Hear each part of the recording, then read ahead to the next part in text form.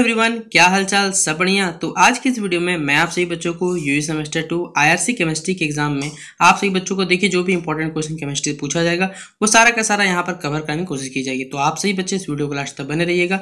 Video पसंद आए तो वीडियो को लाइक कर दीजिएगा। चैनल पर अगर नहीं आया तो चैनल सब्सक्राइब करिए बेलाइकन पर क्लिक कर लीजिएगा, ताकि इसी प्रकार पल पल की हर अपडेट आपको चैनल मिलते रहे। और सबसे ज़रूरी बात देखिए, ये वीडियो मैंने तो रिकॉर्ड नहीं किया, लेकिन एक मैम के द्वारा रिकॉर्ड किया गया। वो आप सभी बच्चों को इंपॉर्टेंट क्वेश्चन जो आपके एग्ज़ाम के पेपर में पूछे जाएँगे, वो यहाँ पर कवर करने की कोशिश की गई तो आप इस वीडियो को लास्ट देखिए। वीडियो कैसा लगा कमेंट बॉक्स में आपको ज़रूर बताना है। तो चलिए देखते हैं क्या सवाल आपसे पूछे गए एग्ज़ाम में। इंपॉर्टेंट क्वेश्चन है I R C two chemistry के लिए B B M Q boards model of atom इस क्वेश्चन को नहीं छोड़ना है, ये क्वेश्चन बहुत बार पूछता है, ठीक है? ये आप देख रहे हो, पूरा आपको बनाना है। याद रहे शॉर्ट आंसर पे मार्क्स नहीं मिलेगा तो आप लोग को बहुत अच्छे से लेंथी तरीके से, बहुत अच्छे से डिफाइन करनी है यहाँ तक, ठीक है? फिर अगर हम बात करें periodic table in trends of properties of element याद रहे ये क्वेश्चन बहुत बार पूछता है एग्ज़ाम में। बिलीव नहीं होगा तो आप लोग क्वेश्चन पेपर भी प्रीवियस ईयर क्वेश्चन का खोल के रख लीजिएगा। शॉर्ट नोट्स पूछता है इसके ऊपर ठीक है?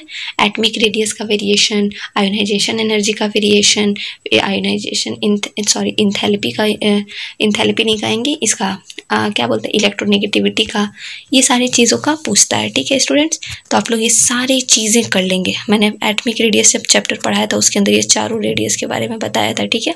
ये चीज़ ज़रूर देख लीजिएगा ऑब्जेक्टिव के लिए कि कौन सा रेडियस पढ़ा होता है वंडरवॉल मेटलिक या कोविलेंट ठीक है? ये सारी चीज़ें हम देख पा रहे हो। Variation of atomic radius in periodic table ये बहुत अच्छे से देख लीजिएगा, ठीक है? कि वेरी वेरी इंपॉर्टेंट क्वेश्चन है। हम आपको कह रहे हैं ना कि अगर आप इनऑर्गेनिक और फ़िज़िकल ये दोनों कर लेते हैं तो बहुत अच्छा स्कोर से आप पास हो जाओगे, ठीक है? फिर बाद में आप मत कहिएगा कि मैम आप एडवाइस नहीं किए। इस तरीके से देखिए iso electronics ionization enthalpy सिर्फ़ डेफिनेशन इसका सक्सेसिव ये सब नहीं, ये सब नहीं देखिएगा तो भी चलेगा। इसका ये क्वेश्चन कर लीजिएगा why ionization enthalpy are always positive ये क्वेश्चन ज़रूर कर लीजिएगा। ये वाला आपको करने का ज़रूरत नहीं है, ठीक है? Factors affecting screening effect nuclear charge ये देख लेना है आपको थोड़ा सा। इलेक्ट्रॉनिक कॉन्फ़िगरेशन का डेफिनेशन याद कर लीजिएगा, ठीक है?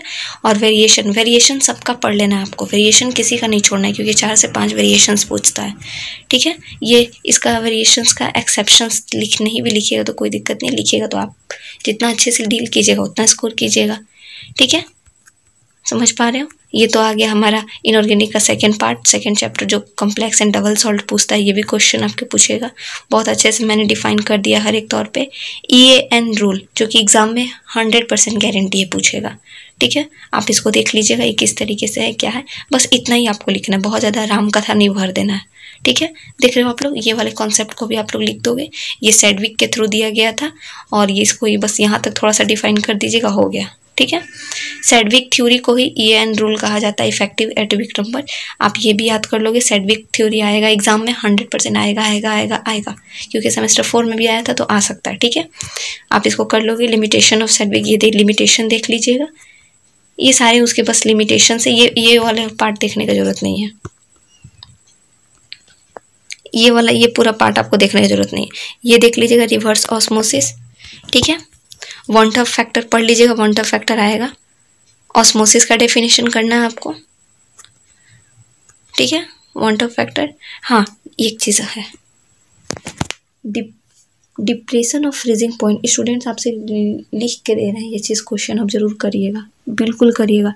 देखिए कैम आईआरसी केमिस्ट्री तीन पार्ट में है? Group A group B group C कोई भी दो ग्रुप को उठा लीजिएगा ना स्टूडेंट्स आपको फेल तो आप नहीं होंगे।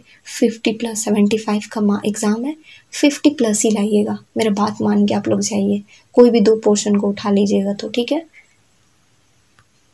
इनफैक्ट हम तो इतना कह रहे हैं कि इनऑर्गेनिक भी आप बहुत अच्छे से कर लीजिएगा तो पास हो जाइएगा। लेकिन हाँ हम चांस लेने के लिए नहीं कहेंगे। इसीलिए हम फ़िज़िकल में कह रहे हैं। फ़िज़िकल में ज़्यादा हार्ड नहीं है। ठीक है? क्योंकि उसमें सिर्फ़ सॉल्यूशन और गैसियस स्टेट ही है, जो कि बहुत ईजी है, बहुत अच्छे से आप लोग कर लेंगे। ये सब देख रहे हैं आप लोग? ये सब करने की ज़रूरत नहीं है, ये सब बिल्कुल भी नहीं हाँ। ये करना है आपको। डिप्रेशन और फ्रीजिंग पॉइंट के बाद ये वाला पॉइंट ठीक है? कहाँ तक?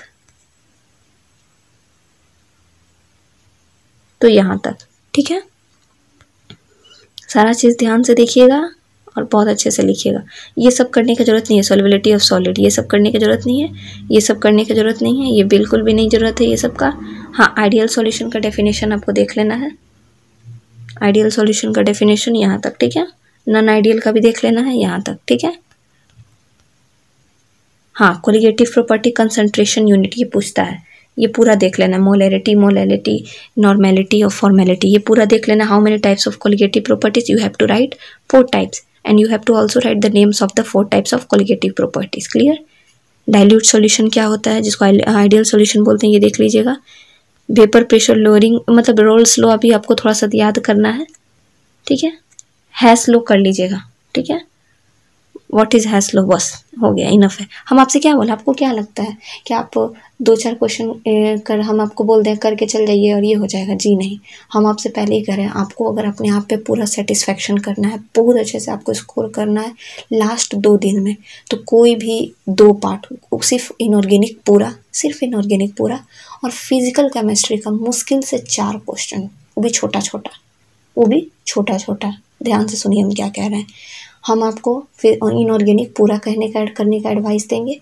इनऑर्गेनिक पूरा और फ़िज़िकल का मात्र चार क्वेश्चन सोचिए आप कितना अच्छा स्कोर कर सकते हैं। सो यू स्टूडेंट आपको एनालाइज करना होगा, ठीक है? और बहुत अच्छे से बस इतना ही। इधर नहीं वर्नर्स थ्योरी आप कर भी सकते हैं नहीं भी कर सकते नो डोंट वरी ठीक है? इतना बड़ा है, आप लोग पागल हो जाइएगा। तो वर्नर्स थ्योरी पे उसका स्टेटमेंट थोड़ा सा पढ़ लीजिएगा। बस यहाँ तक। यहाँ तक, और कोऑर्डिनेशन केमिस्ट्री तक, ठीक है? या फिर यहाँ से लेके वर्नर्स थ्योरी का बस थोड़ा सा एक पॉइंट देख लीजिएगा। वर्नर्स थ्योरी का यहाँ से लेके बस एक पॉइंट तक याद कर लीजिएगा, हो गया, ठीक है? तो ये कुछ क्वेश्चन थे जो आपके एग्ज़ाम में देखिए आ सकते हैं। तो आप सही बच्चे इन क्वेश्चन को नोट डाउन कर लीजिएगा। बाकी सिलेबस आपके पास मालूम होगा। उस सिलेबस से भी देखिए कुछ इंपॉर्टेंट क्वेश्चन टिक करके गेस्ट पेपर आपके पास होगा उससे पढ़ लीजिएगा। बाकी ये वीडियो कैसा लगा कमेंट बॉक्स में अपनी राय ज़रूर रखिएगा। ताकि इसी प्रकार सेमेस्टर थर्ड के एग्ज़ाम में आपको सारे के सारे एग्ज़ाम में इंपॉर्टेंट क्वेश्चन मिल सके। सिर्फ़ ये कॉमन कोर्सेज नहीं मेजर पेपर मिलेगा आर मिलेगा। अब आप लोग निश्चित हो सकते हैं। तो चलिए मिलते हैं नेक्स्ट वीडियो पर तब तक जय हिंद, जय भारत।